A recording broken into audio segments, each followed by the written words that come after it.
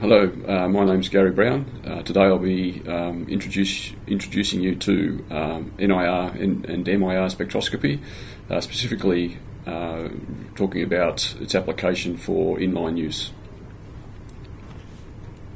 Uh, on, the, on the screen uh, here you'll see a picture of a, or the, or the, the, subject title is A Rotten Apple Could Turn Your Product into a Lemon. this is um, more apt than what you probably initially would think, and I'll discuss applications that we've used for uh, fruit uh, towards the end of the uh, presentation. Now, what is um, what is NIR or MIR spectroscopy?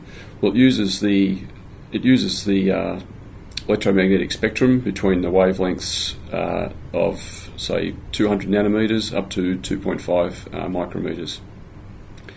you can break it down into five different components. Uh, the first being, say, 200 to 350 nanometers is what we call the new the near UV. And then we move into the visible part of the spectrum, which is between 400 and 700 nanometers, uh, to NIR, which is 700 to 2 point or 2 2,500 nanometers, and then into the mid MIR region, which is 2.5 um, up to 100 micrometers for mid mid mid IR and far IR. Uh, how is the light used in, in uh, near infrared spectroscopy? Is that you illuminate your material or your product with a uh, source light, and then looking at this uh, diagram here, we can see that the uh, there's three three ways that light is transferred or, uh, through or reflected back off the object. in the box, you can see the the molecules that we're looking at, now the light will be either reflected from the uh, from the material, it could be absorbed by the material, or could fully transmit through the material. And we can use reflectance or transmission of light to uh, measure the properties of the material or the product. Uh, so we talk about a few different, three different, potentially three, for uh, inline use. We talk about three different modes of, uh, of infrared spectroscopy. Uh, the first is full transmission where the, the light goes completely through the material or the product and then it's uh, measured by a detector. The second, if, if the, for materials that uh, we can't, light can't uh, trans, transfer through, we talk about diffuse reflection of uh, light. Uh, also, there's a method that we can use to um, use internal reflectance of a uh, of a crystal, where the light transfers, bounces, or transmits through the crystal similar to a fibre optic uh, cable. Um, and where it interacts with the surface of the crystal and our material, we can also measure the properties of the of the material. Uh, here's an example of uh, the spectral, the absorbance spectrum that we've that we've got from a few different two different types of material. So you see on the bottom axis we're looking at uh, from 1500 up to 2500 nanometers, uh, and we're looking at the reaction of water and glucose. So you can see uh, on the water band, and they, we call it a, a, water band because it's a very dominant uh, feature, is that at 19,500 uh, nanometers you have a, a, huge amount of absorbance of water. Uh, and this becomes problematic uh, when we start to use near infrared spectroscopy for measuring any, any high moisture products.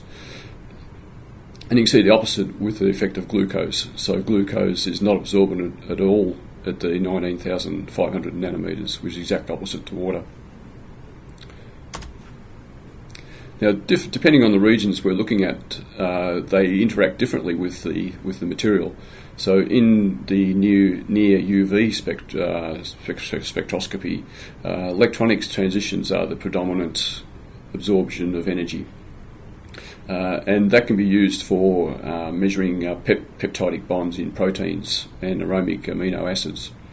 Then we move on to the visible spectrum, and we all associate that with uh, colour cameras or, or, vision systems is that we're looking at the uh, electronic transitions in uh, molecules, and theirs typically can be used for carotenoids and uh, measurement of chlorophylls. Uh, and we've used that successfully or very easily in the past to measure um, the chlorophyll levels of fruit, for instance.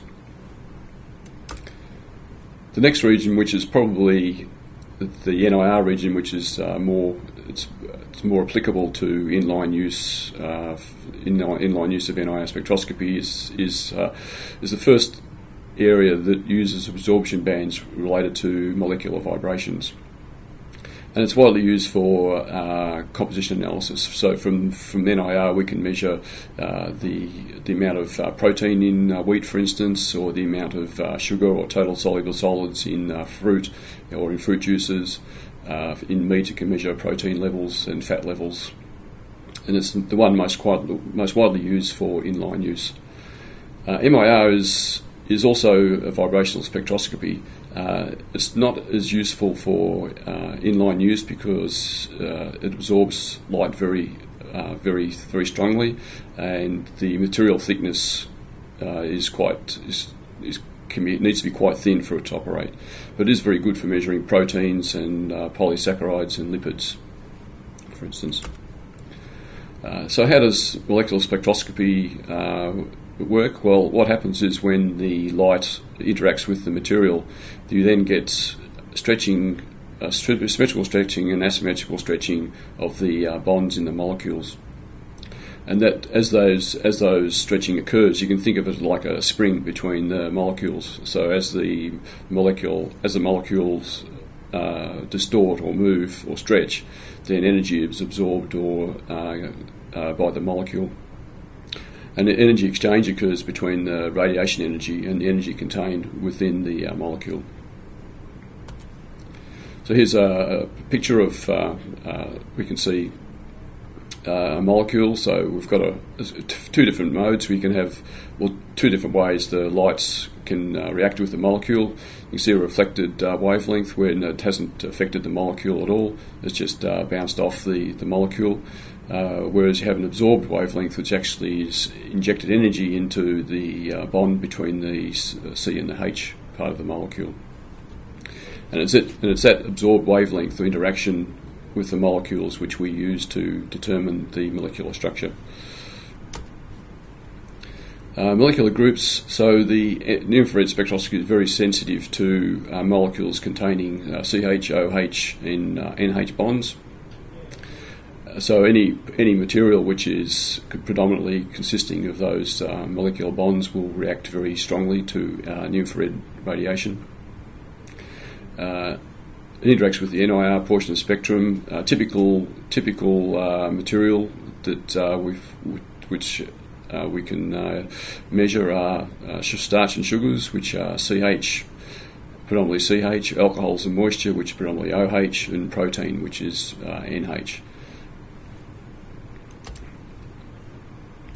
Uh, now, it, MIR versus NIR, uh, the the, mirror, the uh, MIR absorption is the fundamental vibration energies, uh, whereas and are very heavily absorbing, whereas the NIR absorption are overtones of the fundamentals, which are the first, second, and third predominantly overtones in the CHNH and OH vibrations, uh, and uh, also um, yeah, electromagnetic spectrum. So there's overtones and combinations of uh, vibrations. So here we've separated out, expanded a little bit the wavelength of interest for the NIR. So we're working from greater than probably 800, so from 800 nanometers here to 2500 nanometers. So on the right hand side, you can see you've, broken down the, the combination bands and the overtone bands of the CH, NH, and, uh, and OH uh, molecules. Uh, there's a lot of analysis been done on the different different molecules and how they react to the uh, either the combination of uh, bands or the overtones. Uh, if you look across the the top line, we've seen we've seen water here. So uh, water has um, combinations in uh, two, 2200 nanometers. Uh, and then the first overtone starts at 1900 metres, second overtone is at roughly 1350 nanometres, and there's two third overtones. Uh, so how does how does uh, near infrared spectroscopy work, or how it can be used to analyse our materials? Is determined uh, by Beer's law. Um, here's a f- friend of mine, Eric, and he reckons he knows all about uh, Beer's law. But uh, his belief is that the uh, absorptivity as alcohol is um, proportional to the uh, size of the jug, and uh, rather than uh, any scientific notation. But in actual fact, Beer's law is the absorbance of light is determined by the molar absorptivity of the material, the path length, and the concentration of the material. So, if we, in our um, near infrared spectroscopy, if we can keep uh, path length constant, and uh, we're using the, we're measuring the same material, so molar absorptivity will be constant as well, then the absorbance gives us a direct relation to concentration, and that becomes a very useful property. Uh, unfortunately, Beer's law is uh, not perfect. Um, it can it can vary or deviate from its uh, perfect state because of uh, particle scatter, uh, interference. So we've got contaminants in our material, uh, molecular interactions, changes in refractive index will also affect it, stray light, and changes in the sample size and path length. So a lot of those things we can compensate to for a certain extent. Uh, the last one, changes in the sample size and path length. It's important when we're measuring um, our material in line that we can uh, keep those two constant. How can we uh, improve on Beer's law to reduce the errors? Uh, well, we, when we now, when we uh, process the data from the, um, the spectrometers, uh, we pre-process the data before analysis using multiplicative scatter correction. Uh, also, you can use standard normal variate correction, um, baseline correction, for instance, uh, second derivative, first derivative. And differentiation, Savitzky-Golay is probably the most widely used differentiation process uh, used in near-field spectroscopy. So here we're going back, progressing a little, going back again to the few different modes of collecting light from from our from our subjects, from our product. Uh, we have the source light. So in A, we're looking at uh, pure, pure, full transmission. So we have the source light. We can uh, then transmit through the sample to the detector. The detector is um, would be in a inline situation would be fibre optically coupled back to a spectrometer, and the source light is uh, often also uh, coupled to the sample via via a light source through a uh, fibre optic cable. Uh, the sample would be uh, inline, so there may be some way, some means, or there may be special means we need to uh, adapt to the sample so that we can measure the the um, the spectrum from the from the sample. Uh, B, we're looking again at the crystal, where the light source uh, reflects through the crystal, similar to a fibre optic cable. The sample is sitting at the interface of the crystal, uh, and the light interacts between the surface and the sample, and then sampled by the detector. Uh, that, that principle is used, uh, can be used in line, it can be put for liquid trans- transmission. Uh, it, uh, you can be, the liquid will um, encompass or around the crystal, and therefore the detector will then sample, sample the liquid. Uh, C and D are, um, or C particularly, is not used in line. It's a it's uh, used for laboratory use only. And D, we're looking at specular reflectance, where the source light is um, focused onto the sample, and our detector measures the reflected light from the from the sample. Diffuse reflection is often can be used for uh, powders uh, or any or anything that's uh, too too thick or absorbent to work in transmission mode.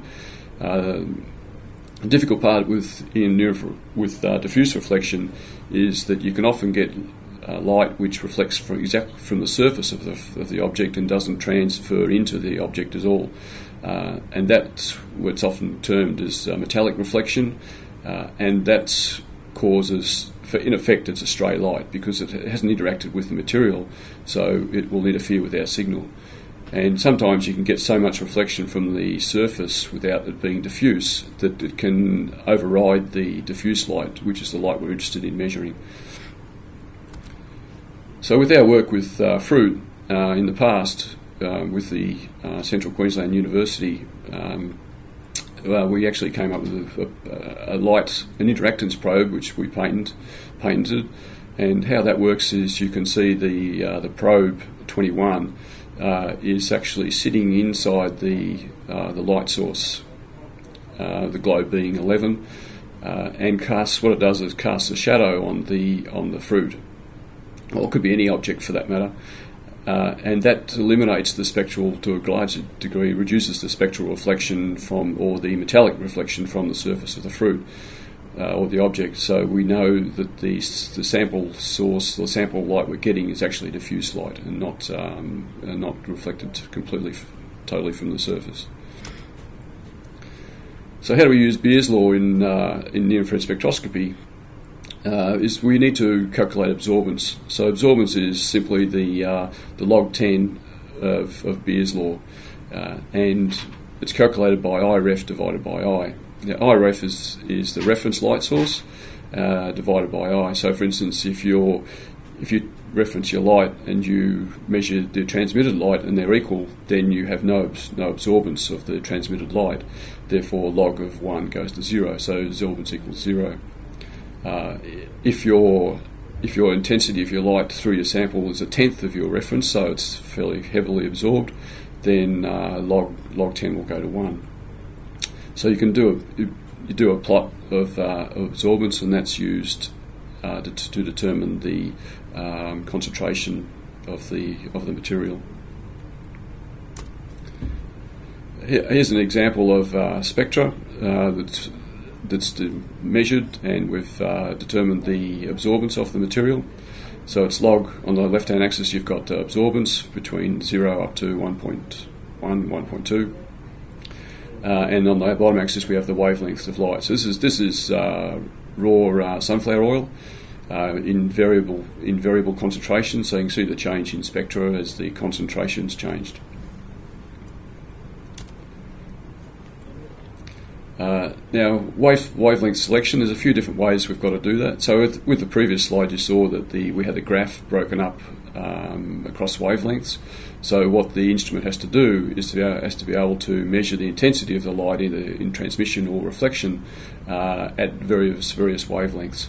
And typically, the resolution we need is somewhere in the order of, depending on what we're trying to um, predict, uh, we'll need to measure down to probably 0.5 uh, up to say 2.5 uh, nanometers per, per pixel if you like.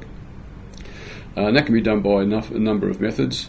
we can use a, a rotating disc. Uh, there's a few instruments out in the market at the moment that use have uh, rotating disc with say nine different filters, uh, and rather than get a continuous spectra, what they do is they get the the amount of light either reflected or transmitted at nine different wavelengths. And if you know what you're predicting and those nine wavelengths can be adjusted appropriately, then that works fine. Uh, the downfall of, or the limitation of those systems is that they can only work in what they've been calibrated to, um, calibrated to for the filters that have been used. So you can't just collect light uh, from a different material and expect to get the same result. That won't work. Uh, optical tunable filters uh, are just similar to a light filter, except the, the way they behave is determined by uh, a, an optical signal. Um, and also, you can uh, similarly, liquid crystal tunable filters operate in the same similar manner, whereas the light passing through the filter is determined by either an optical signal or an acoustic signal. Um, now, monochromator uh, is another different method of determining the wavelength selection. Uh, this disperses light uh, with a wide range of wavelengths onto a monochromatic light at a different wavelength. So, an example of that is a rotating diffraction grating, uh, where the light source uh, is reflected onto is, is focused onto a grating, and the grating will then separate the light into multiple a multitude of uh, wavelengths and then often that grating is uh, rotated, and we use the as the as the grating rotates, we use the uh, wavelengths individually to illuminate the object and measure the objects or the samples um, absorbance at that particular wavelength. So it's a scanning type device, and it has to move through all the wavelengths. So it takes uh, takes in the order of a second or so for the um, for the device to measure measure the uh, spectral spectral signal from one, one object. Uh, and you can do it in two ways. You can either be classified as pre or post dispersive. Uh, so the Uh, so the light can either be uh, broken up into individual wavelengths before it's, it shines or it passes through the uh, object, or you can pass all your light through the object and then measure the uh, light coming out uh, and tune and tune to specific frequencies after the light's uh, transmitted through the through, through the object. Uh, now we've mentioned before that a, a, diffraction grating is what is used to uh, break up the light. So here we have uh, a grating which is similar to nothing more s- simply very similar to a C- CD. If you hold a CD up in the in the light, a sound CD or DVD, you'll see a rainbow effect on the on the um, on the CD face. Well, that's simply, simply exactly how diffraction grating works. It's just a, um, a glass which has, has uh, ground or cut into it a heap, a very lot of fine lines running parallel, and when the light reflects off the grating, it'll be broken up into its different wavelengths. Now, once we've once we've uh, uh, the light is uh, transmitted or reflected off our off our material or product, we have to then measure measure the signal.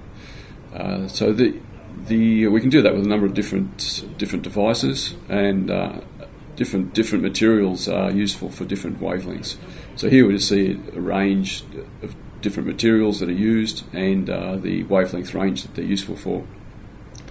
So, just an example, silicon is the most widely commonly used, the cheapest, most economical, uh, and that's useful for 599, 600 nanometers up to 1100 nanometers. Uh, once we start going down the, the chart to longer wavelengths, then uh, they become more expensive. Um, InGaAs is works between uh, 800 nanometers up to 1.6 or 2 nanometers. Um, the disadvantage with silicon is very good and it uh, can be very uh, signal noise ratio can be very very good, whereas the signal noise ratio drops off with InGaAs devices. So that's a bit of a trade off uh, when you're looking at spectrometers. And once again, you work in the MIR region, which is not used typically uh, for uh, inline use. Uh, the devices get even more expensive but there's no option because the uh, silicon just won't work in that range. The light will just go straight through a silicon device. Uh, with with uh, inline use, we need, also need to be mindful of how we measure the signal at the at the at the device or at the surface of the product. we can use typically we use fibre optics to do that, and the what we need to be mindful of is the absorption of light on the fibre optic cable itself. So here you can see there's a graph uh, of absorbance of uh, light versus wavelength. So you see once you get up to up to uh, greater than 1900 nanometers, then a large proportion of our light is going to be absorbed, or a significant proportion of our light is going to be absorbed uh, by the fibre optic cable itself.